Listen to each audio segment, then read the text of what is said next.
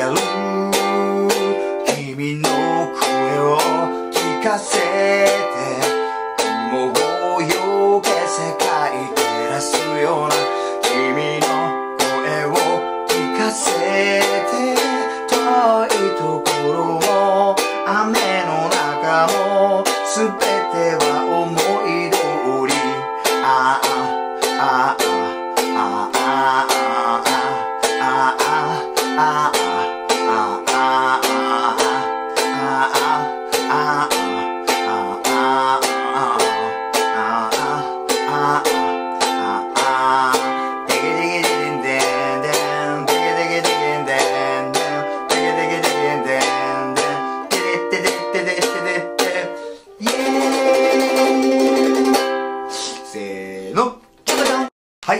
ー、シンプル簡単バージョンやってみました。えっと、ガズレレ流ショートカットバージョンで1番をやったところで、まあ一応これ終わってるんですけど、えー、今のシンプル簡単バージョンはまあ、えー、簡単にしましたけど、後半やるかっこいいバージョンでは、このパートだけでも、ものすごいリズムが濃厚になるんで、まずここだけすごい、あの、集中してやってみましょうということで、この動画アップロードしております。で、動画のテロップと一緒にこう弾いていただくのもいいと思うんですけれども、いずれはノートに書いて、それを見ながら歌う。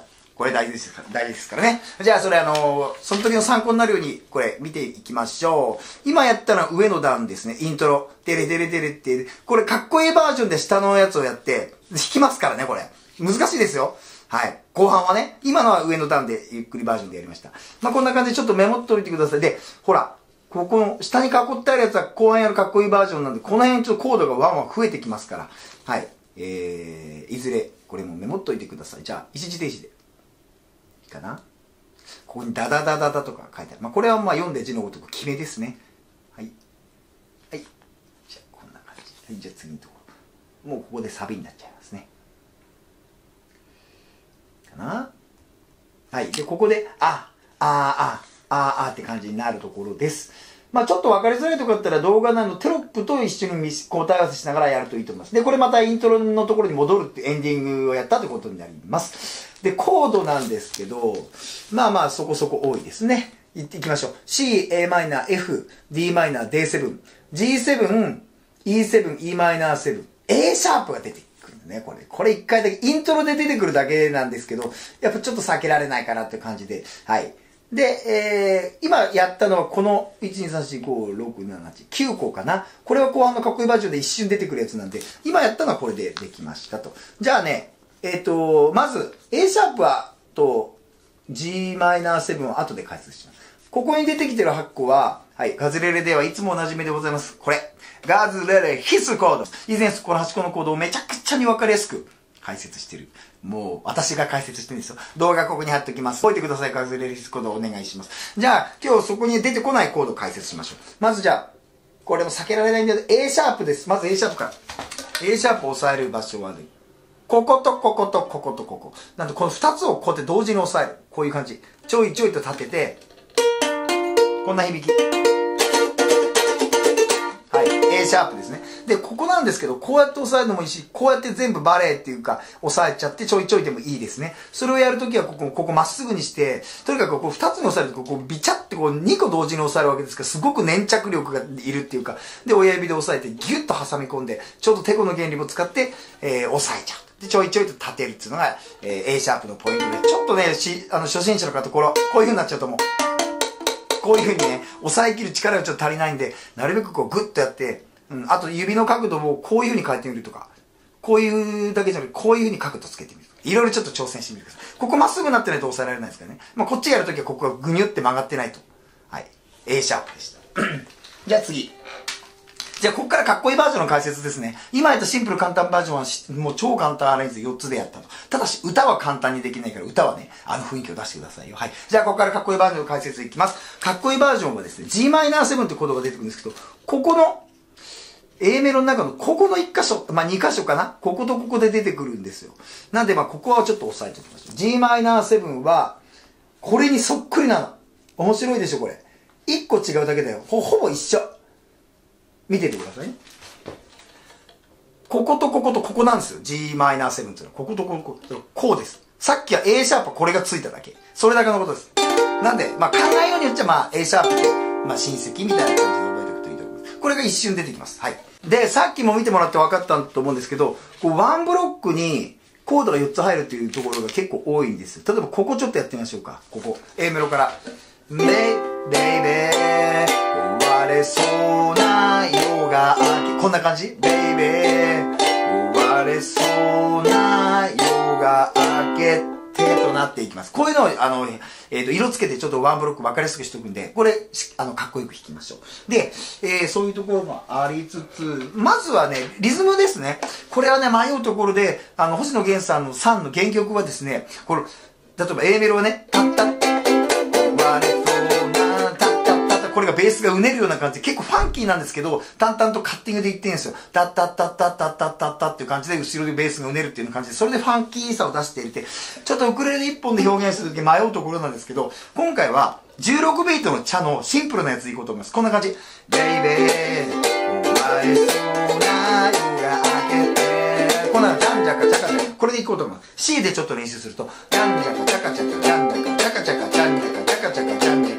がメインリズムです。はい。16ビートのチャのシンプルなやつ。はい。これを軸にやってみようと思います。じゃあ、えっ、ー、と、16ビートのチャの基本的な弾き方、ここのリンクでちょっとお勉強してほしいんですけど、このリンク先はガズレレのホームページの1枚で、ウクレレでできるリズムのいろいろというページがあります。その中から16ビートのチャという動画を見つけ出していただいて、そこで動画で練習してください。なんですけど、これは結構シンプルな方なんで、逆に、えっ、ー、と、先入観なしで、じゃんじゃかちゃかちゃか、じゃんじゃかちゃ、口で言いながら、ちゃかちゃかちゃか、じゃんじゃかちゃかちゃ。まあ、わかんないときは、茶の映像とかさっきの動画を見て、いろいろこう、えー、考えながら、えー、マスターしていってもらうといいと思います。じゃんじゃかちゃかちゃか、じゃんじゃかちゃかちゃか、じゃんじゃかちゃか。こんなテンションです。はい。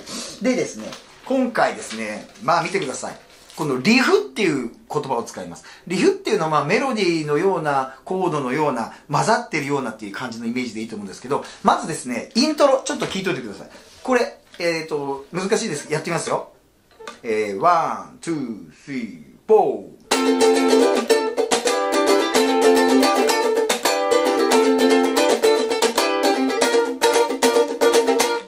これやりたいんですね。ダダダダダダタンタン。ダダダダダダタンタン。ですこれをリフ、こういう感じで言います。まずですね、それをね、まあ、絵に描いてみました。これがまずリフ、えで、ここ見てもらうと、ほら、イントロ、リフ1って書いてあるリフ丸1。それをここに図解しましたと。ね、ここ見てください。丸は F だよ。黒丸は、えー、黒丸は Em7。四角は Dm です。そうすると、ダダダダダダで Dm 書いてる。四角で、えー、D、あ、あ、じゃあ、黒丸で Em7 だから、ダダダダダダツダーンツタン。下のこう、四角いボックスは音が伸びるってやつです。ダンダン。ダダダダダダッタンタン。ダダダダダダッタンタン。食ってんですよ、この、これが。この Em7 ちょっと前に食ってシンコペーションしてる。ダダダダダダツタンタン。はい。ちょっとゆっくりやるんで合わせてくださいね。ダダダダダダタンタン。手の動きがこうずっと動いてる。これを見てください。ダダダダダダタンタン。ダダダダダダタンタン。難しい。茶を入れると、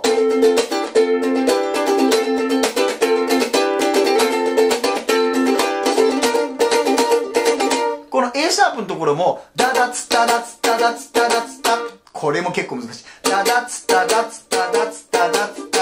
これや、これもやって、カッティングも入ってきます。えー、イントロまとめていきます。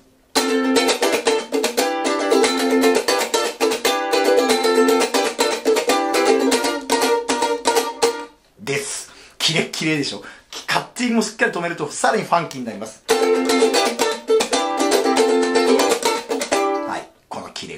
で、これはね、このスピードでやるの難しいから、まずゆっくりこのぐらいで、ダダダダダダダーン、ダーン、ダダダダダダダーン、ダーン。これで練習してください。はい。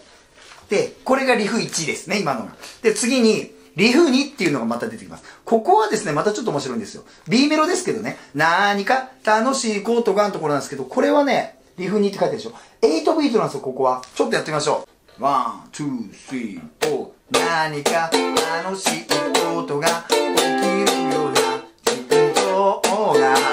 まあ、わかった？こんな感じです。ダッツタダッツタダッツッタダンダンダッツタダッツタダッツタダンダンです。面白いでしょ。ダッツタダッツタダッツッタダンダン。はい。8ビートです。ちょっとクイックこれ面白いリフですね、これは。えー、見てみましょうか。また同じです、コードは。はい。白丸が F、黒丸が Em7、四角が d マイナーで、三角が C ってことになります。はい。ちょっとこれよく見てメモりながらやってください。ダッツツタダッツツタダッツツツタタこの四角いボックスは伸ばすですからね。三角で伸ばしてます。ダーダーはい。これがリフ2です。もう、もう一回やってみるか。 One、two、three、four。何か楽しいことが起きるような幻想が入ってダダダダダダこの G7 のダダダダダダを書いてくださいね。これ決めです。はい。で、とうとうラストのき、えー、リフになってきました。リフ3。これ最後のエンディングの、あ、あ、あ、あ、あ、あそこです。あそこは結構ね、ちょっとやってみましょう。まずはまずお手本から。One、two、three、four、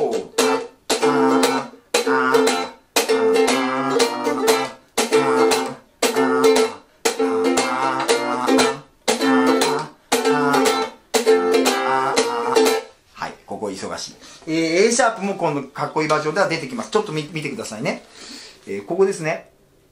あ、あ、あ、あ、あ、あ、C、A シャープ。かえー、簡単バージョンでは F と C だったんだけど、F、F、C、A シャープってなります。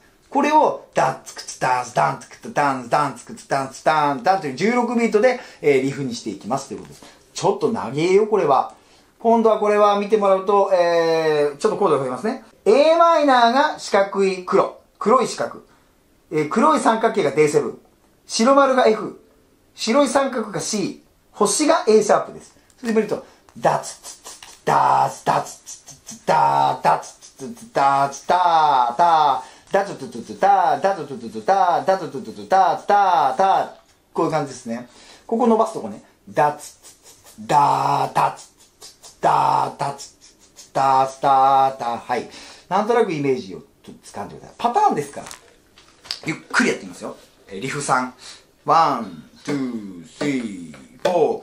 ダッ、ダー、ダッ、ダー、F、ダー、C、A シャープ、A マイナー、バー、D7、バー、F いって、バー、C、A7、A マイナー、バー、ダッ、バー、F いって、バー、C、A マイナー、ダッ、スク、ダッ、ダッ、ダッ、これがリフ3です。わかります？リフ1、リフ2、リフ3。この辺、一個ずつ脳トレとしてパーツごと練習していくのがいいと思いますけど。はい。やってみましょう。で、リズムは全体的には16ビートの、シンプルな16ビートの、まあ、茶で、えー、ファンキーな雰囲気出せるようにやってみようと思います。じゃあ行きますよ。星野源さんの3、改訂版バージョンのかっこいい版、やってみる !1、2、